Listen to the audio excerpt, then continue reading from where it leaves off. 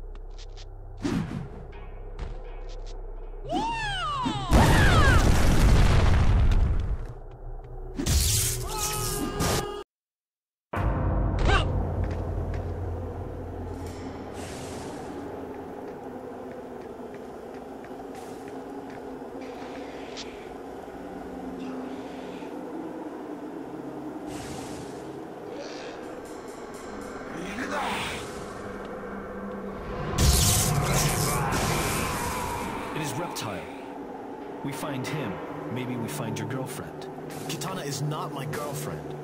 She may help us, remember? So what do we do? This is what Raiden was talking about. If we defeat Reptile, Shang Tsung will be that much weaker. No. I will defeat Reptile. You can watch. That is what Raiden was talking about.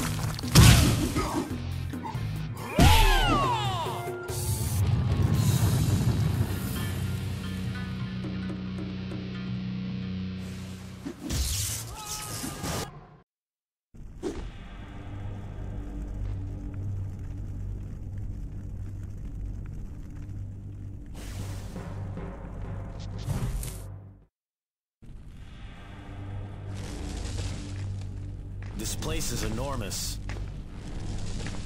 I'm still trying to make sense out of what Kitana told us. Do you see Reptile? No. You check over there.